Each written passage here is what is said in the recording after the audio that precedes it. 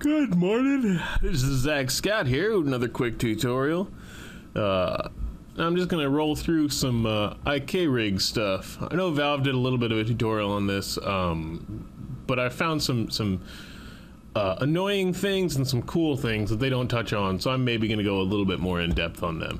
And uh, specifically, I'm going to talk about applying an IK rig to a pre-existing animation and uh, using it to modify that animation. So, um, yeah. I've got my little uh, Aperture Ellis here. It's a skin I've been working on. It's pretty shitty. If anybody wants to volunteer and do a super high quality one, that would be badass.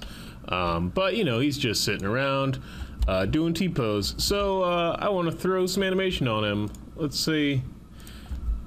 I want him to, I don't know, hold something. Hmm. Yeah, maybe I'll throw a portal gun in there and have him hold it. Uh, but it's cool stuff. So, fun thing that Valve doesn't mention about IK rigs is if you're working on a model and you want to import an animation by doing a import sequence, uh, you'll run into some trouble. So let's say I just apply the IK rig here to, to him. So to do that, you just go to rig, um, biped simple, uh, I've got a couple of these uh, which are available for download. Um, I'll have a link to them, I guess. Uh, but Biped Simple is friggin' great. It works on all the Left 4 Dead guys. It works on all the Team Fortress guys. It works on all the uh, Half Life guys, um, and a lot of the custom models out there as well. So uh, it's pretty great. Uh, I'll just throw that on him, and in a second, once it applies that, yeah, you can see now we have a nice IK rig hooked up. So basically it'll drive his uh, arms based on uh, the positions of his hands and such. So it's a great little function. Um, makes it easier to do some animation and posing work. Um, but now we can't import any sequences. It's all grayed out. So that sucks. Um, so what I could do is just uh, rip this Ellis up and um, remove the IK rig. Uh, actually, I think that is what I will do. I was going to try and do something tricky, but uh, I realized I've never actually tested it, so I'm probably stupid to try and test it here in the tutorial. Um, I have a theory on how to import things onto this guy without having to remove the rig, but we're not going to do that right now. Um, let's just go to sequence. Let's grab any animation. Uh, I want him to have the portal gun, so I'll just give him a two-handed weapon idle, maybe. Uh, let's see. We got guitar. We got frying pan. I want a two-handed gun. Where the hell are your guns? Injured. Elites? Injured rifle? Injured rifle. There we go. Cool. Injured rifle. So now we have a little injured Ellis. We reframe him. He is standing here doing some animation, and that's awesome. Awesome.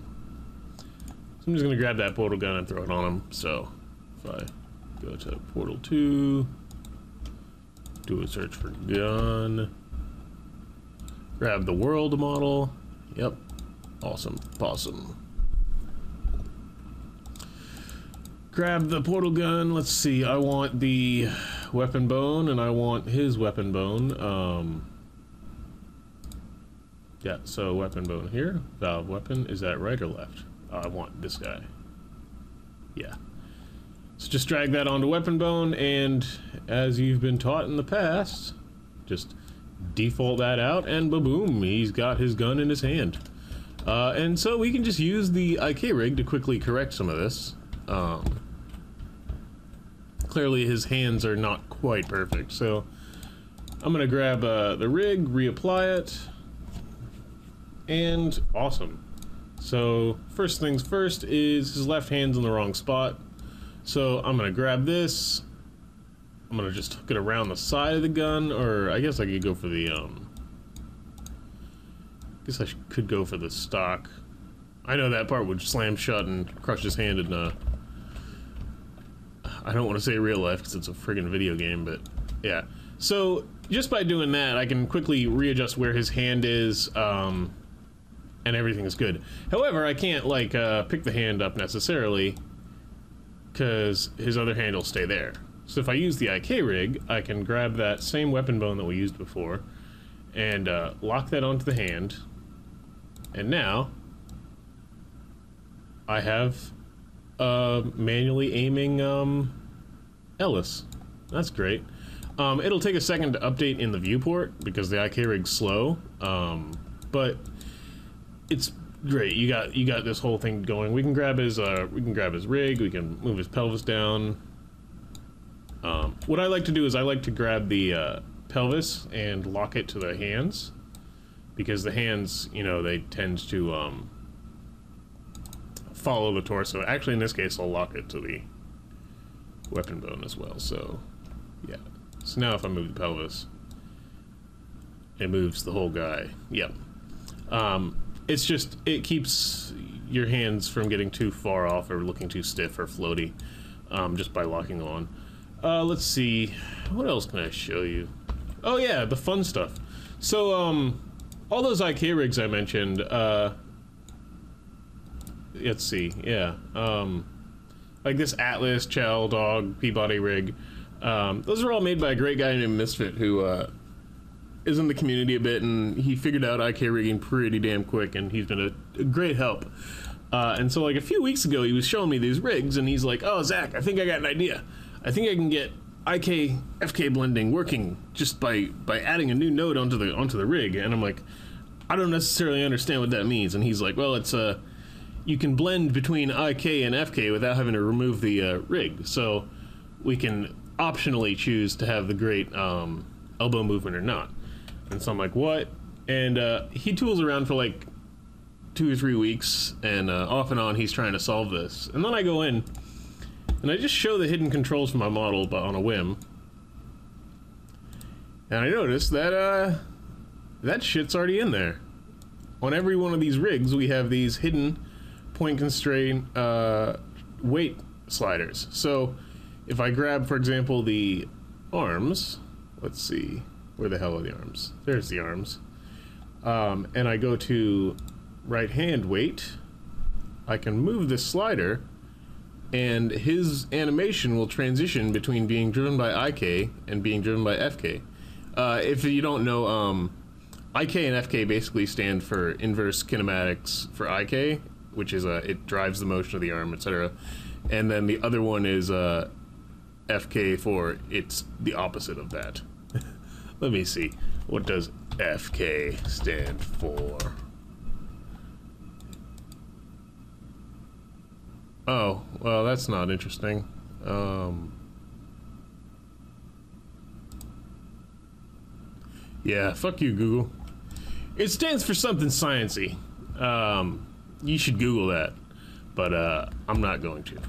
But yeah, so we can we can quickly blend in, which is really useful because um, if I just put his arms back, let's move his uh, left arm, uh, which is really useful because IK is great for aligning up hand plants and uh, leg plants and all that, but it's not necessarily the best if you just want like realistic animation. Because in animation, um, in animation, motion is driven by the the joints first. So if you were moving your arm on a character, it would be uh, it would be like the shoulder would move first, and then the elbow, and then the hand. But with IK, you move the hand, and then it moves the shoulder and the elbow to match. So it's it's a little less realistic, even though it is getting the poses right. Um, so let's see if I can find his body parts. Uh, yeah, so uh, I know a lot of people are like, um, whenever they throw on the IK rig, it'll look like uh, it'll look like this, and they won't have access to most of the bones. So if, if this guy was a soldier, you wouldn't have access to like his coat bone or his uh, his helmet straps just by applying the IK rig. And a lot of people think you got to totally rip off the IK rig entirely just to see that. But if you just go to show hidden controls, um, you can get back all of those bones. They're still there. They're just hidden. Some of them may or may not work. Uh, like if I grab the, um, if I go back to arms, if I grab his, uh, let's say left upper arm, and I just rotate that, that will work because I've blended off IK. Um, but if I put IK back on, whoops, for the right thing. Where are you? Where are you? There you go. No, sorry. That one. If I put IK on, this uh, left upper arm won't do shit because um, it's currently being controlled by the IK controller.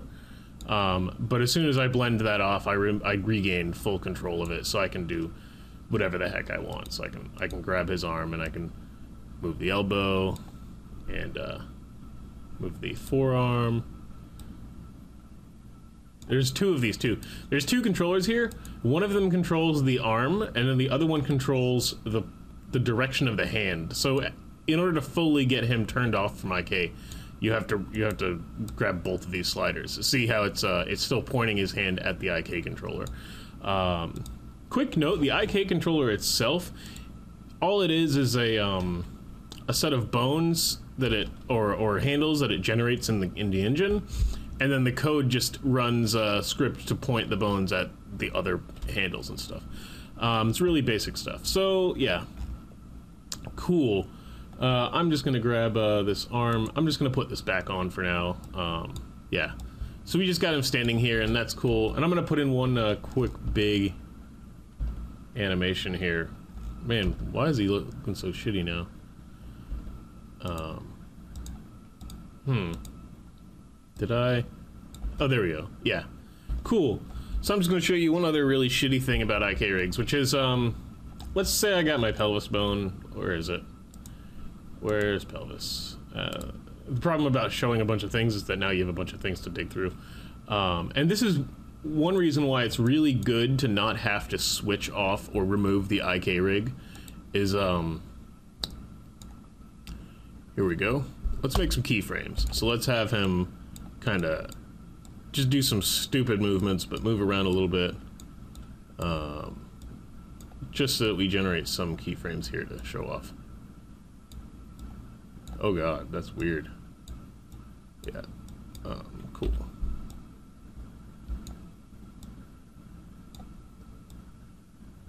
See, it looks like I'm getting some sort of locking issue here. Yeah, cool.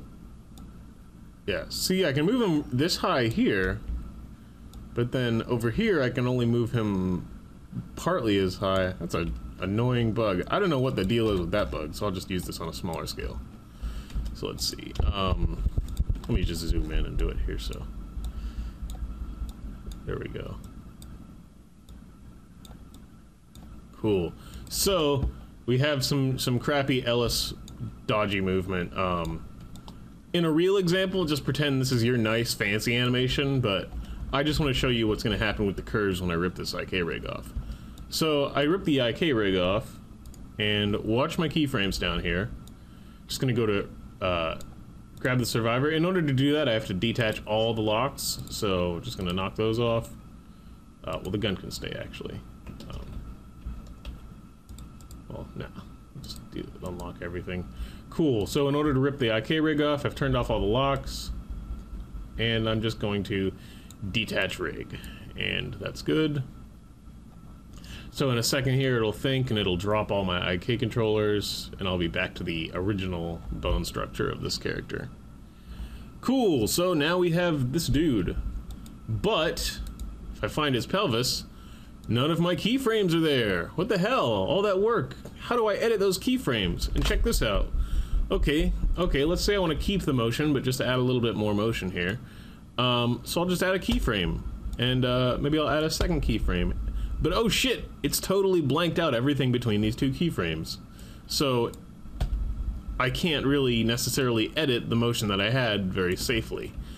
Um, and this is a real pain in the ass because you're you're gonna want to just add keyframes in, but it's gonna be shitty. So the way you get around this is you have to add keyframes at very close intervals uh, to get an approximation. So, because um, it'll it'll put a keyframe at exactly where the curve is, but it'll blank out everything between them. So, if I'm just really slow about this, it's still messing with my curves a little bit, um, which is unavoidable. But uh, I can at least keep the general size of the curve. Um, though I wouldn't recommend animating like this um, but if you end up in this situation where you lose all your keyframes, but you still got to move things, I would actually recommend going uh, and creating key, new keyframes in a uh, old curve from the back forward. So if you would start at the end of your thing and um, man, his legs are super fucked.